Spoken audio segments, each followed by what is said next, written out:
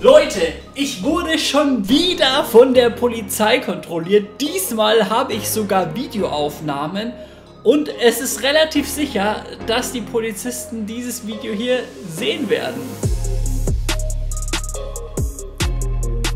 Also erstmal an die zwei, die mich kontrolliert haben. Ja, Spoiler, ich habe euch in einer Sache angelogen. Ich habe schon mal Drogen konsumiert. Oder vielleicht sind auch alle Videos auf diesem Kabal fake. Das Coole daran, dass ich schon wieder kontrolliert wurde, ist, dass ich direkt einige Dinge ausprobiert habe, wo ich mir vorgenommen hatte, aufgrund der letzten Erfahrung anders zu machen, um zu schauen, ob die Polizisten dann beispielsweise keinen Drogentest von mir wollen. Ich glaube, ich zeige einfach mal die Aufnahmen von der Polizeikontrolle. Ich bleibe jetzt einfach mal entspannt. Okay? Nein, ich bleibe hier jetzt ganz kurz. Das können wir auch jetzt machen. Lass Nee, uns klären. ma Lass machen es wir, was machen wir erst? Lass damit, klären. damit, Nein, so peinlich würde nicht mal ich mich verhalten. Keine Sorge, die richtigen Aufnahmen kommen noch. Erstmal muss ich erzählen, was passiert ist, bevor ich losgefahren bin, denn das ist für die Polizeikontrolle sehr relevant. Beim Video von der letzten Polizeikontrolle sage ich ja, dass ich mir zu 100% sicher war, dass der Drogentest negativ sein wird, weil es da wirklich verdammt lang her war, dass ich da das letzte Mal konsumiert hatte. Hier war allerdings mein letzter Konsum nur eine Woche her, weil ich bei der Wohnungseinweihungsparty von einem Homie 1 Gramm Kratom genommen hatte und zweimal an einem Vaporizer gezogen hatte. Und ja, es war wirklich nur 1 Gramm Kratom und zwei Züge am Vape. Einige Zuschauer denken immer aufgrund des Kabals, dass ich total viele Drogen nehme. Ich konsumiere allerdings wirklich selten und meistens in geringen Dosierungen. Und ich fahre niemals berauscht Auto. Ich fahre noch nicht mal mit einem Urin in mir, der positiv auf Drogentests anschlägt. Weil ich eben wusste, dass ich vor einer Woche an einem Vape gezogen hatte und THC ja bekannt dafür ist, dass es manchmal länger im Blut ist, habe ich vor der Fahrt einen Urin-Drogentest gemacht. Solche Tests kann man ja überall kaufen und da habe ich immer einen zu Hause.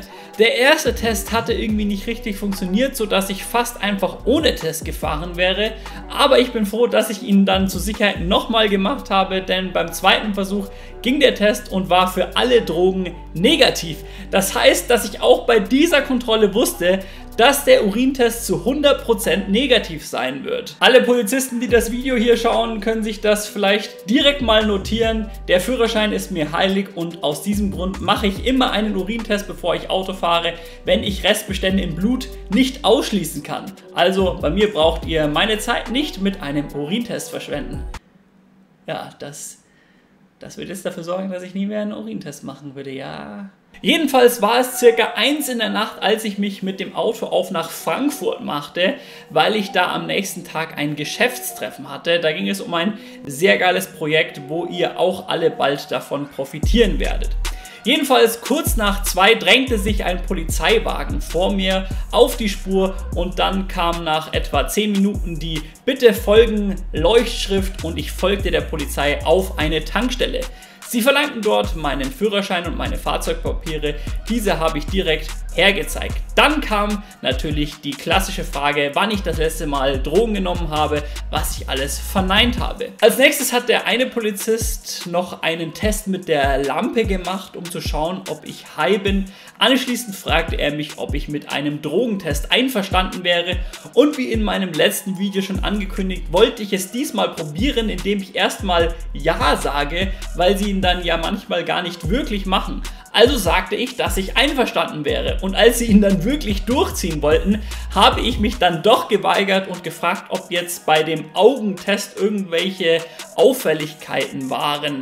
Dies verneinte der Polizist, weshalb ich fragte, was denn jetzt der Anhaltspunkt ist. Anfangs hat er nichts wirklich Präzises gesagt, weshalb ich dann angefangen habe, mich ziemlich aufzuregen. Dieses Aufregen hat er dann kurz darauf als Indiz für meine eventuelle Berauschtheit genommen, obwohl ich halt anfangs völlig cool war. Das Ding ist halt, dass ich aufgrund des vorherigen Tests wusste, dass er negativ sein wird und ich mich daher als Unrecht beschuldigt gefühlt habe und daher auch keinen Bock hatte, den Urintest zu machen.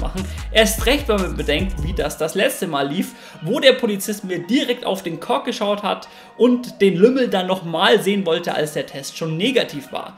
Wobei ich bei der Kontrolle den Verdacht eher nachvollziehen kann als bei der letzten Story, weil ich hatte an dem Tag bereits etwas geschwitzt und hatte mir dann vorgenommen, entspannt im Hotel zu duschen. Leicht verschwitzte Haare haben halt schon so den Drog-Vibe. Außerdem hatte ich diese fucking Hose hier an das war auch so ein bisschen so eine bewusste Entscheidung. Vor dem Losfahren habe ich mich die Frage gestellt, ob ich noch eine vernünftige Hose anziehen soll. Aber weil ich wusste, dass man mir nichts anhängen konnte, dachte ich mir, dass diese Hose bei einer Polizeikontrolle irgendwie witziger wäre. Bei meiner Frage, was an mir denn auffällig ist, hätte der Polizist einfach sagen sollen, deine Frisur und deine Hose. Es kommt auch immer dazu, dass ich ADHS habe und diese unruhige Art immer als Drogenkonsum gewertet wird.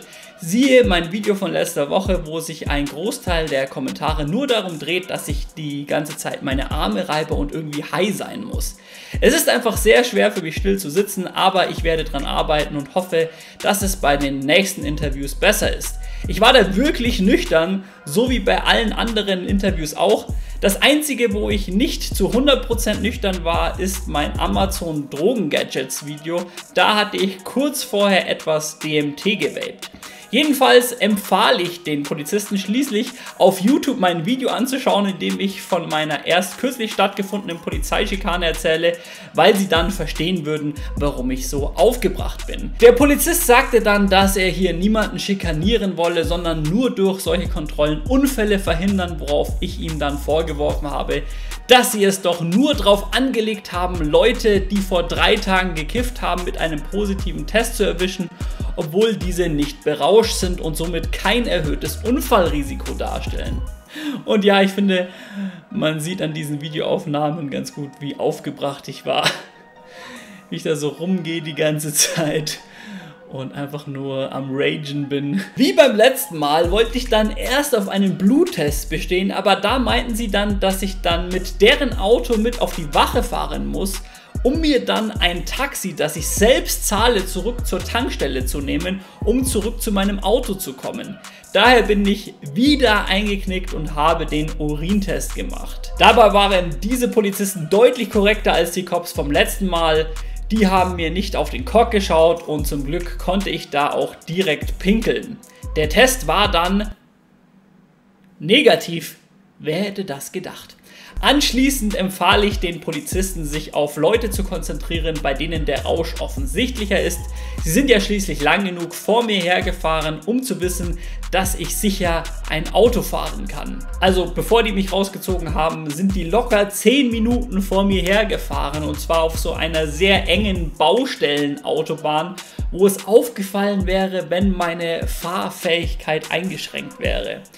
Weil ich ja vorher das Video von der vorherigen Kontrolle erwähnt hatte, fragten die Polizisten auch, was ich denn für einen Kanal auf YouTube habe. Als letzte Worte habe ich dann gesagt, dass ich einen Kanal über psychoaktive Substanzen mit dem Namen Open Mind betreibe und dass sie gerne mal reinschauen können. Und ich denke, dass sie das tun werden, um zu schauen, ob ich hier ein Video zu diesem Vorfall hochlade. Ja, und hier ist es. Hier ist das Video, ja! Sie haben mich beim Weggehen auch gefragt, ob die Dashcam lief, was ich verneinte. Das war auch tatsächlich eine ehrliche Antwort. Mir ist dann erst beim Weiterfahren eingefallen, dass mein Auto sowas vermutlich automatisch aufzeichnet.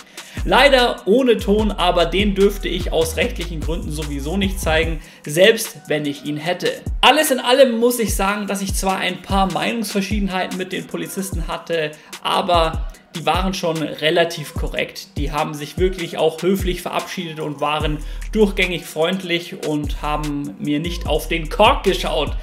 Es hat ihnen nichts ausgemacht, dass mein Test negativ war. Die vom letzten Mal waren sich ja meines Konsums so sicher, dass ich noch nicht mal gehen durfte, als der Test negativ war. Die waren richtig beleidigt und eingeschnappt, weil sie sich so sehr gewünscht hätten, dass mein Test positiv war. Also Grüße gehen raus an die zwei Polizisten. No hard feelings. Wie auch beim letzten Mal würde ich auch Sie beide herzlichst einladen, hier zu mir nach Hause, um ein Interview zu führen. Ich biete sogar 200 Euro pro Person als Gage und ich würde dann beispielsweise Fragen stellen wie, wäre es auch ohne diese Hose zu einem Drogentest gekommen? Gäbe es irgendwas, was ich tun oder sagen hätte können, um mir den Test zu ersparen? Ich habe auch schon direkt Vorsätze für die nächste Polizeikontrolle. Es wird ja immer von Rechtsanwälten dazu geraten, dass man nie was von seinem ehemaligen Drogenkonsum sagen soll. Das hat mir scheinbar bis jetzt nichts gebracht.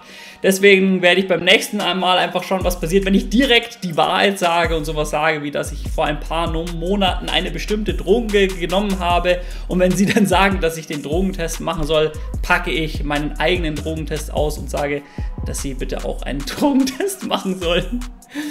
Der Projektor 3000 war zwei Monate lang ausverkauft. Seit heute ist er wieder auf Lager mit neuen Features. Es gibt mehrere Musikmodi und es gibt jetzt auch einen mit blauem Laser.